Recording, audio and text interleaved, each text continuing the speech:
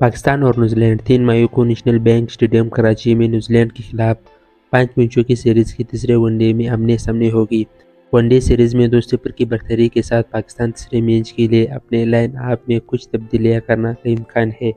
जख्मी है रसोल की मुतबादल के तौर पर शामिल इफ्तार अहमद के तीसरे गेम के लिए अतमील अव्वल अब्दुल शफी की जगह लेने का ज़्यादा इम्कान है।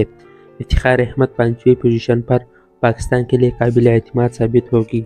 जराए के मुताबिक नौजवान एहसान ला, कल के ट्रेनिंग सेशन के दौरान जख्मी होने की वजह से अपने बॉलिंग बाजू की दर्द महसूस कर रहे हैं। इनकी जगह शहनशाह अफरीदी लेगी, जिन्होंने आखिरी मैच नहीं खेला था। बाबर आज़म सीरीज़ जीतने के मकसद के साथ खेल में कुदरती तब्दीली शुदा स्क्वाड की क्यादत करेगी। यह 2011 के बाद न्यूजीलैंड के खिलाफ पाकिस्तान की पहली वनडे सीरीज़ में फतह होगी। ये सीरीज़ दोनों टीमों के लिए हिंदुस्तान में होने वाले आईसीसी वर्ल्ड कप 2023 की तैयारी है। इस सीरीज़ के आखिरी दोनों वनडे इसी मुकाम पर पाँच और सात मई के खेले जाएगी।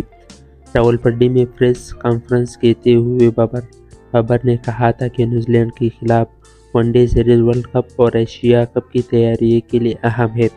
बाबर ने कहा कि ये पाँच मैच हमारे वर्ल्ड कप की तैयारी के लिए अहतमाही अहम है।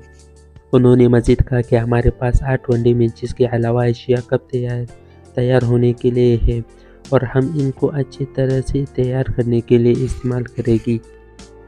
तीसरे वनडे के लिए पाकिस्तान की मुमकिन प्लेइंग एलेवन नंबर एक, बाबर अजम कप्तान number two, Fakhar Zaman left hand batsman. Number तीन, Imamul Haq left hand batsman. Number चार, Mohammad Rizwan wicket keeper.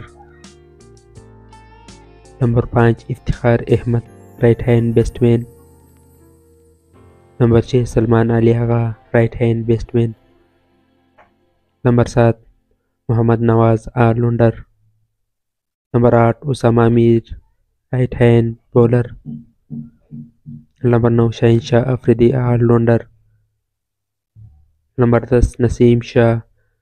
right hand bowler. Number 11 Harris Rove, right hand bowler.